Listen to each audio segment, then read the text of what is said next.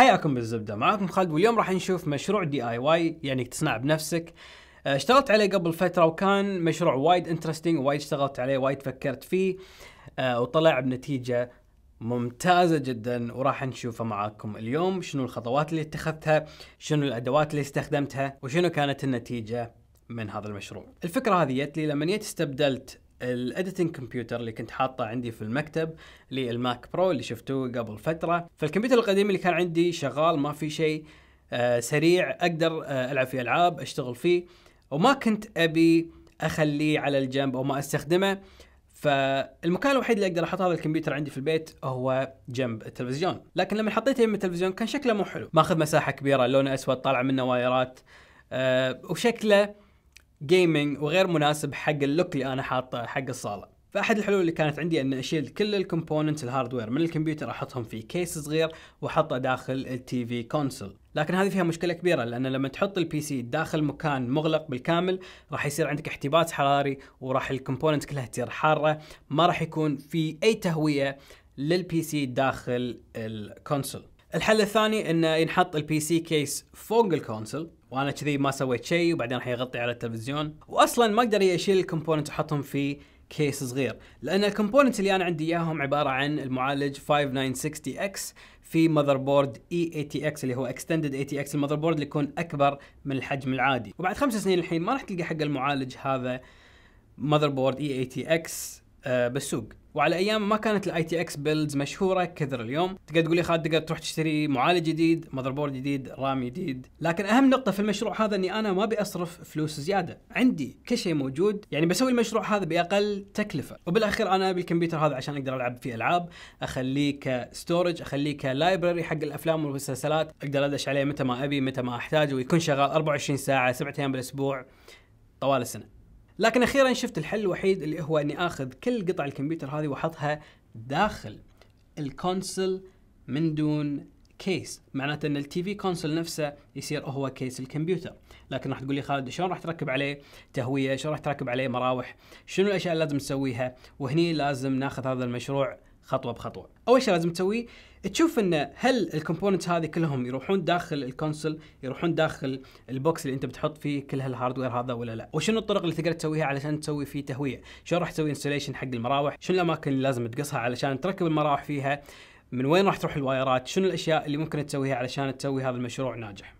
ولأن هذه القطع عندي إياها قديمة. ال 5960 X وال 980 Ti صار لهم تقريبا خمس إلى ست سنين بالسوق وعلى أيامها هذه القطع القوية تصير حارة جدا. فلازم يكون عندي أهم design في الكمبيوتر هذا هو عبارة عن المراوح. design المراوح هو اللي راح يخلي لي هذا المشروع ناجح أو فاشل. التهوية اللي موجودة داخل هي أهم شغلة. لأن ال case هذا مو مصنوع من الألمنيوم نفس ال PC cases العادية. ال case هذا مصنوع من MDF أو خشب والخشب يحتفظ بالحرارة بشكل كبير. فلما تكون في تهوية ممتازة تقل عندك ظاهرة الحرارة هذه. فأول شيء سويته جبت لي متر. علشان أقيس فيه ال motherboard وال GPU والمراوح وال power supply لأني لازم أقص فتحات من الخلف حق المراوح وال PSU وال motherboard ولازم تكون قياساتها مضبوطة علشان كل القطع هذه تركب بشكل جيد. وتعطيني التهوية اللي أنا أحتاجها. قبل أي أقص ال PC case وأسوي فتحات حق المراوح لازم أشوف وين المراوح هذه راح تروح شنو الأماكن اللي فيها وصلات حق ال motherboard وأخيرا علشان يكون عندي intake من صوب اللي هو دخول الهواء داخل ال PC case و outtake الهواء علشان الهواء يطلع من الصوب الثاني. لأن أنت تحتاج كل الإلكترونيات اللي موجودة بال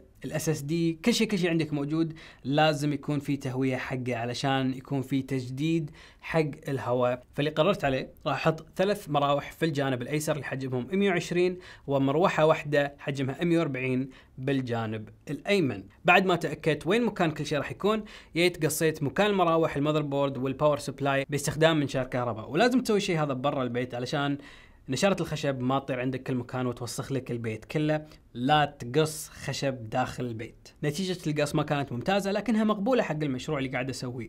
أول شيء سويته ركبت المراوح هذه على صوب اليسار اللي هي Noctua NF-A 12 15 آه ثلاثة منهم بحجم 120 صوب اليسار. هذه المراوح اخترتها لأنها تعتبر أفضل مراوح للكمبيوتر. لونها بني لكنها بعد تجربة وايد YouTubers وايد ناس في العالم شافوا إن هذه أفضل مراوح حق الكمبيوترات من ناحية ال noise to performance ratio معناته انها هي قابلة بدفع هواء كبير بأقل صوت ممكن وحاليا هي ال number 1 من ناحية الأداء والصوت. والسبب اللي خذيت فيه المراوح هذه اللي تكون أضعف اللي هي ال 15 ملم علشان راح يكون وراها ال GPU فخذيت المراوح الأضعف. لكن على عكس ال outtake خذيت مروحة 140 ملي بالحجم العادي. والسبب اللي أنا خذيت فيه هذه المراوح مثل ما قلت لكم هي الحرارة وأنا أبي أحط الكمبيوتر هذا عند التلفزيون أبي يكون صامت ما أبي يكون شغال ويطلع منه صوت وأنا قاعد أشاهد أفلام أو مسلسلات أو إني بس قاعد مثلا بالصالة وهو يكون شغال. والحلو بالمراوح هذه إن في معاها شغلة اسمها ال low noise filter اللي تقلل من سرعة المراوح لكن أيضا تقلل من الصوت اللي طلع المراوح هذه. هي فعلا تطلع صوت قليل لكن مع ال noise filters هذه إذا تحتاج تحطها في مكان مثل صالة بيتك تطلع صوت. أقل. حطيت ال power supply وأخيرا جيت حطيت ال motherboard اللي راكب عليه ال 5960 X ال 980 Ti SSD M dot 2 اللي هو سامسونج. وهم أيضا الكولر أو المبرد حق المعالج حاطه من شركة Noctua.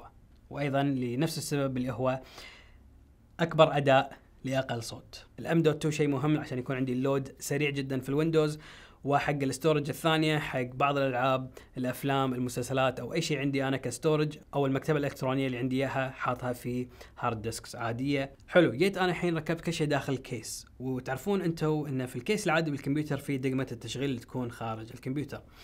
بال case هذا ما عندي دقمة تشغيل لكن الشيء الحلو في ال motherboardات إن فيها دقمة تشغيل على ال motherboard وبس إنك تطق دقمة تشغيل يشتغل معك الكمبيوتر. فأنا خطتي إنه يكون هذا الكمبيوتر شغال 24 ساعة طوال السنة بس إني أشغله لأول مرة من داخل المذر بورد اشتغل عندي شفت المراوح كلها شغالة كل شيء عندي ممتاز.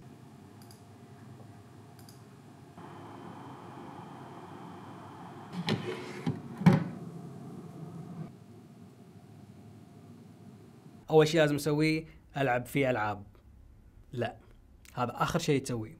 أول شيء لازم تسويه في كمبيوتر مثل هذا تجرب التهوية في الكمبيوتر علشان ما توصل فيه حرارات عالية ويحرق لك البيت. فأول شيء لازم تسويه شغلة اسمها stress test إنك تشغل كل ال hardware اللي داخل بأعلى أداء لفترة زمنية معينة قول هي ساعة ساعتين ثلاث ساعات يوم كامل. Cinebench اللي هو يشغل لي ال CPU أو المعالج بشكل كبير وال Unigine Heaven اللي هو يشغل لي ال GPU بأعلى أداء. وخليتهم شغالين لفترة طويلة وشفت إن التهوية كانت عندي مم ممتازة. والخشب اللي داخل ما وصلت درجة حرارته أكثر من 35 ودرجة ال 35 سيليزية المفروض ما تأثر على ال MDF اللي موجود لكن أنا راح أشيك عليه بين فترة وفترة علشان أتأكد إنه ما في أي تأثير سلبي على ال MDF أو الخشب. حلو الكمبيوتر شغال عندي كل شيء فيه okay. الحين أقدر أستخدمه ك كمبيوتر ولأنه موصل بالتلفزيون حده يكون 60 frames per second لكنه هو 4K و HDR ال 980 Ti اللي عندي مو كافي حق ال 4K أو ال HDR